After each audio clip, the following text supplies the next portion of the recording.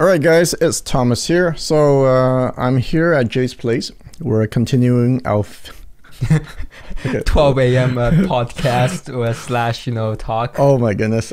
So uh, there's one topic I want to cover before I go today, and that's synergy. What I realized by reading my comment section is that there are a lot of people who don't know about synergy.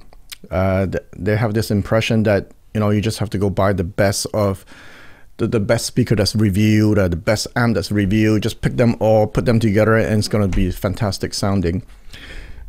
That's actually not true. From my experience playing with gears, a lot of gears, synergy is actually very difficult to get. So maybe we can start by defining what is synergy. This is difficult because if you Google it, what is synergy for stereo, you're going to have a lot of different answers. If that's the case, then how can we talk about synergy when we have a problem defining synergy? All right. So Jay, do you have an idea? There's no right or wrong answer. Okay.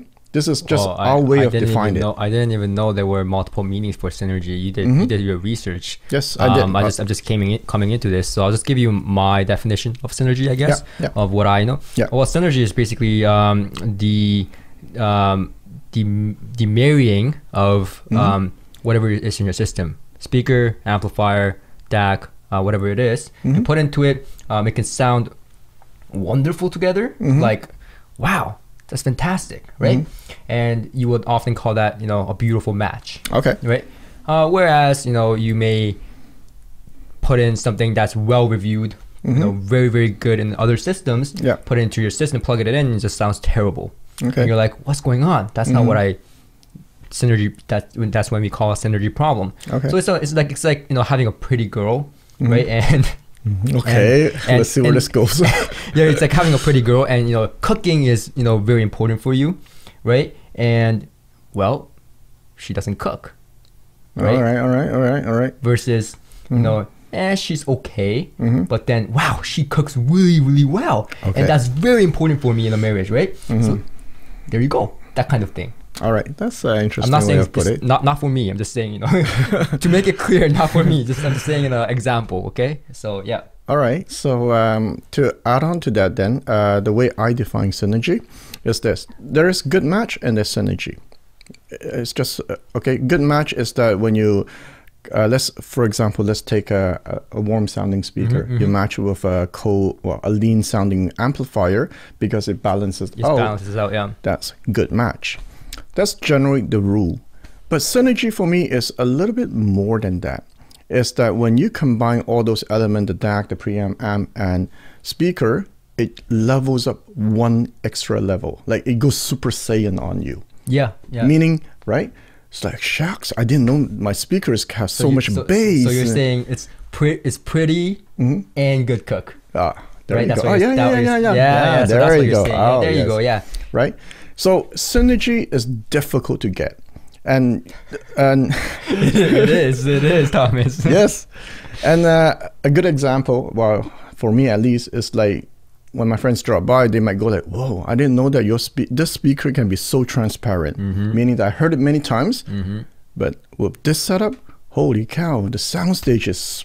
I've never heard it like this. Yeah. Because it has good synergy. That's how I defined it. Yeah. What do you think, Jay? Do you think? No, I totally agree. I Yeah. totally agree. Um, now a, a good synergy Mm-hmm. um spawns from a good match. Yes. Um, that's how I see it. Mm-hmm. But yeah, you're definitely right. Um, yeah, that's how I would define it. So I think we're on the same page on that one. Correct. So, um, how do you achieve synergy? That is difficult. Now that is very very difficult, and uh, the reason it's difficult is because it comes from experience. For example, um, a sensitive speaker like the Tekton or JBL may sound beautiful with um, a tube amplifier, and you know uh, a certain tube amplifier may sound better with a Tekton than JBL, and so vice versa. And you know me may be more synergist, uh, synergistic and a good match. Um, and then you have a situation where a really well reviewed solid state amplifier may sound terrible on these sensitive speakers. So that's the hard part. So now you have to play around, around with it. You have to hear a lot to achieve synergy. synergy. Now I'm just this is an example of just amplifier and speaker. Yeah. Think about DAC, Yes. preamp, Cables. ca- cables with, with a, with a question mark. Uh, t- turn turntables, um, uh, stylus, Yeah. um, you know, cartridge, tone arm. That Mhm. would let's not even get into turntables, but that's the thing. It's um, it's a whole other topic. I, won't say okay for uh, people who are new to this uh, hobby. hmm Like, don't be discouraged about it. Like, I know we're making it sound very complicated, but there's certain guidelines to it, right? Why would they be discouraged? Because trying to get good synergy is very difficult. It is. It requires you experience. It Mhm. requires you resources. Resources because you need, for example, multiple amps to Mhm. try. Mhm. So that's why it can be discouraging. Um, I think it's exciting. Sure, if you have uh, if you have a lot of friends who have a lot of gear, yes, it can be exciting. So there's guidelines on how to achieve a synergistic system. Mm-hmm. But however, this is not going to be very popular. What I'm going to just say to get amazing synergy requires a bit of luck. Yeah, yeah. Well, th- again, that goes to trial, trial and error. Uh, Okay, so let's take uh, my own reference system. My system, you know, I, I sell and buy a lot of gears. I change a lot of my gears. Okay, Yeah, yeah. but there's one speaker that has been sitting at my home for a very long time. Mm-hmm. Okay, it is the Earthquake Titan. Mm-hmm. Ti- Tigris. Now, this speaker has a lot of problems. A lot. Okay. First of all, uncontrolled bass. Second, it has no mid range.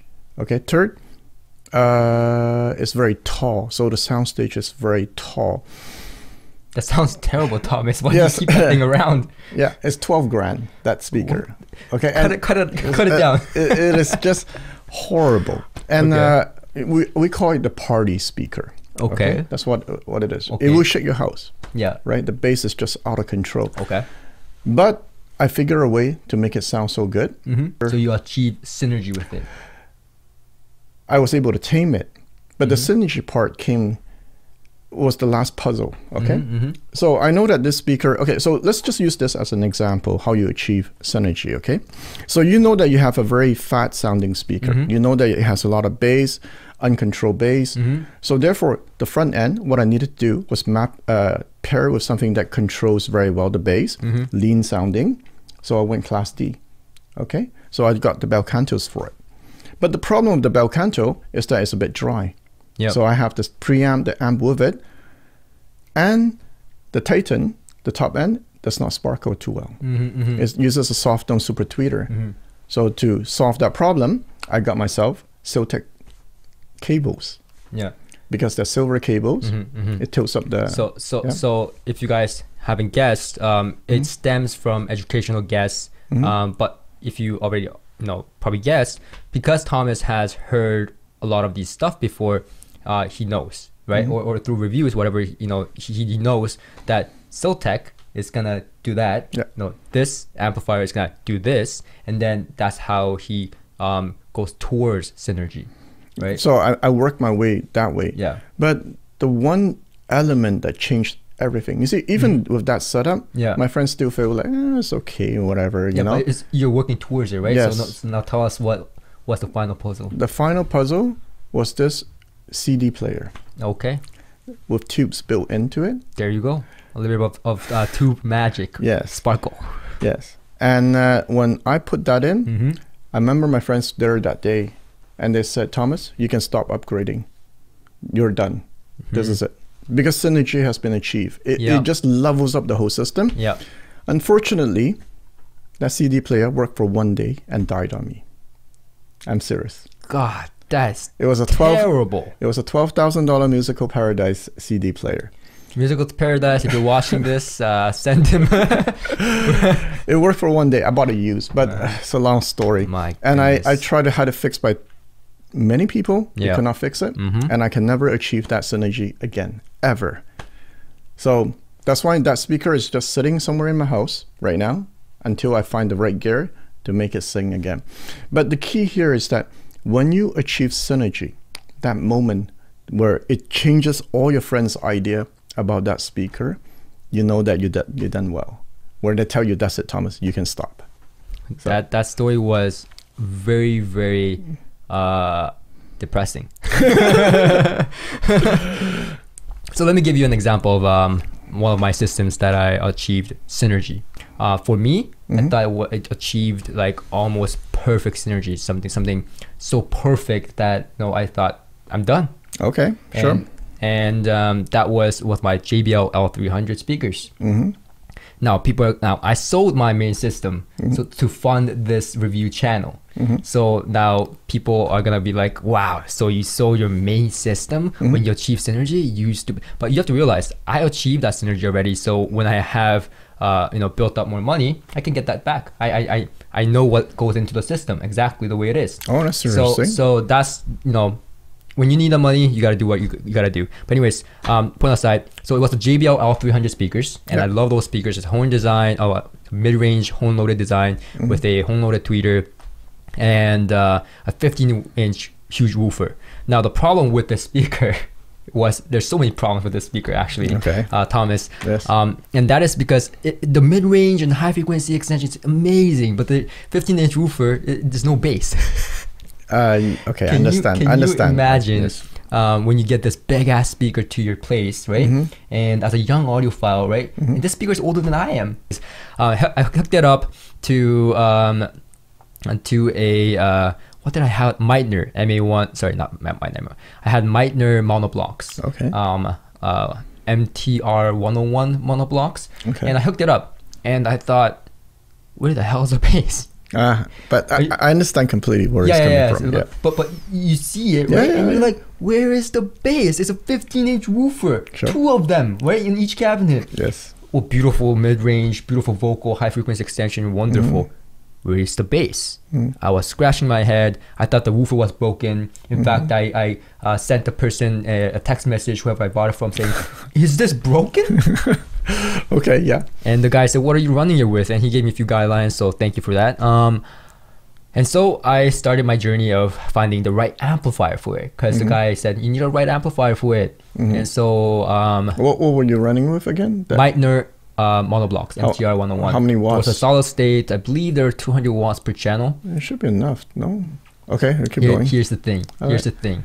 Um, so I got two amplifiers because reading the forums, people are like, yeah, you know, sensitive JBL horn loaded speakers, they got to be run with tube amplifiers. All right. So I got the um, Cary um, SLA 80, That's a good. Very good. and I had it running with a pretty cheap preamplifier. I don't even Okay. remember the name. Um, but uh, everything sounded so dark sounding. Now there was bass. Now there was bass. There was bass, but there was no high frequency. All right. Let me get this right. Uh, a, a tube amplifier gave you bass, while a 200 watt solid state did not give you bass. Yeah, Reminds me of the Zoo actually. yeah, The Zoo uh, with tube it, it gave bass. Strangely. yeah, yeah. So Mm. now I'm going like, what is going on? Right? I went through no joke about 30, 30, 35 amplifiers. Sounds like me. Okay. Go on. yeah. and I ended up with uh, McIntosh. And Oh. now this is where I'm going to get a lot of hate because not a lot of people are Which one? McIntosh. Um, MC30 and 60. And so here's the thing. Um, people were like, some people were saying MC, they were swearing that the MC30 sounds better. Okay. The, and um, these are these are McIntosh monoblocks. Um, these were you know made in the days where McIntosh tube amplifiers were very well known. Mm-hmm. Um, arguably, these tube amplifiers were what made McIntosh today the reputable brand. I got them both because I want I need I needed to A/B it Mm-hmm. because it was so like fifty percent will say yeah, you know the the MC30 sounds better, and fifty percent will say uh, the MC60 is better. Mhm. So I thought you know what I have to hear it for myself. Okay. So I popped both. Okay. Um, um, a, a lot Man, you must be. You must have eaten a lot of I'm instant I'm noodles. so thin. Help me. I eat a lot of instant noodle. And I'm not joking that. about this. If you see our previous vi- videos, I, I'm not talk, I'm not joking when I say you know I save by eating eating instant noodles. Um, and so so I I got the MC60s and 30s and A beat it. Yes. I liked the MC30s better. Sure. Some Okay. people will highly disagree. My coworker will highly disagree. Sure. He thinks the MC60 sounds way better on the JBLs, and Okay. he, he liked it. But I, I really like the MC, uh, MC30s. You know, the, the more you're telling me this story, the more discouraging it is. You know that, right? Yes, it's yes, like yes. No, no, I'm just saying th- this is this is the type of thing um, that you will go through. It's not like you reach achieve. What? If, I mean- if it was so easy to achieve synergy, Yeah. right? It's nobody will be in this hobby. You know, the moral of the story: eat a lot of instant noodles. Sorry, get. get Getting to the point, I went to the Cary preamplifier. yeah. Uh, um, and uh, I will link to the model. Um, uh, it was DMC 600. It's an all-in-one DAC, CD, and and a pre- preamplifier as well. Okay. And so it's a music server. It was a current uh, Cary, quite frankly, Okay. and that had bass. Okay. Oh my god! And it had high frequency extension. It's interesting, eh? From one amp to another, Mhm. JBL has bass and no bass. Yeah. But- Right. But, but the thing is, the, the the I loved the sound of the um, MC30s. Yeah. Um, um, but there was just the source was a problem. At the time, I was running with Meitner and a separate preamplifier McIntosh, right? So um, by changing that component, I actually simplified my system. Plus, it achieved synergy, at least in my opinion. And um, it was the best I've heard the JBL L300 with. Wow. So that's the story of my first synergy. That's that, that's actually the first synergy I've ever I achieved see. perfectly, in my opinion. And when I say perfectly, you know, I don't say that often. You know, it's very hard to achieve. Um, Especially now that look at all the system he has in the house. I mean, yeah, it's, it's, it's, it's, again, it's a very hard thing because when we review a speaker, we don't just review with that one amplifier. Mm-hmm. Um, I actually borrow amplifiers and I'll ask my friends to lend me amplifiers. If I don't have any, um, I go to stores to rent amplifiers, you know, and so on and so forth to Yeah. compare different amplifiers to see, you know, what marries well together so I can include in my reviews. But again, uh, synergy is a whole different topic than, you know, matching. yeah, I mean, that reminds me, right? Uh, in the other video, I was mentioning about Polk 707. Yeah. Right? You have you. I hear from people saying that they sound fantastic, and some people saying it sounds meh. Yeah. I, I, as I said, it's a, it's about synergy, Yeah. right? Can you get it to sound f- fantastic?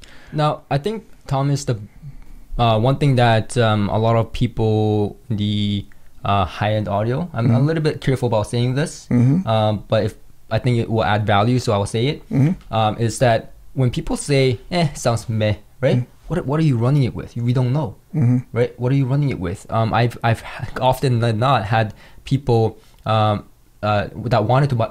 Now I sold my JBL 300, but Yeah. I didn't sell it to anyone that just wanted it. Mhm. I sold it to someone who had an idea of, uh, you know, having these kind of components. You know, was gonna feed something good into it. Mhm. Um, I had people, plenty of people that wanted it because I was selling Okay. it, kind of blowing it out. Yeah. And so, I had people that wanted to run it with uh, Marantz receivers. Mhm. I said, no, you're not running it with that. Okay. Not because you know I'm an asshole. It's because you know he's just not gonna be happy with it, and I know because I've done it. You know, it- it's not. He's not gonna be happy with it, Mhm. and so you know he's better off to you know with another speaker Yeah. that's a little bit more married to the Marantz, right? So, Okay, so there's, there's there's the difference between you know um, having different preference Mhm. and just hooking it up into something that just, just doesn't work. All right, so I guess we'll wrap it up at this point. Now, although we were talking about synergy tonight, okay, we talk about you know matching, let's say, uh, bright speakers with dark amps. You know, you try to balance it out. One thing I learned, okay, you never know until you plug it in. Yeah. Okay, you can think that if I have a bright amp, bright speaker, bright DAC, bright, bright, bright, bright, bright, you put them all together, it might be neutral sounding. Yeah. You, you, you just don't know until you plug it in. All right, so Jay, what is the takeaway from today's video? So the takeaway from today's video, as we just discussed, Okay. is that um, really you really shouldn't underestimate synergy. Um, it's not about buying the best, you know, reviewed um, DAC amplifier and so on and so forth. Um, it's not about your friends telling you that this is the best amplifier, you should go and buy it. Um, you should never underestimate synergy. yeah, and, and I would just uh, end it with, um, you know, I, I was lucky that at the beginning of my audiophile journey, I have friends who taught me the importance of synergy. Uh, for, for me, if uh, you know, if that's one advice I can give to newcomers, is that you need to understand equipment matching is more important than buying like the best equipment of whatever category. And yeah, I, I think that's my uh, big takeaway. And luckily, I, I learned that very early, so I, I saved myself a lot of money. All right, so with that, guys, I'll see you next time. Next time.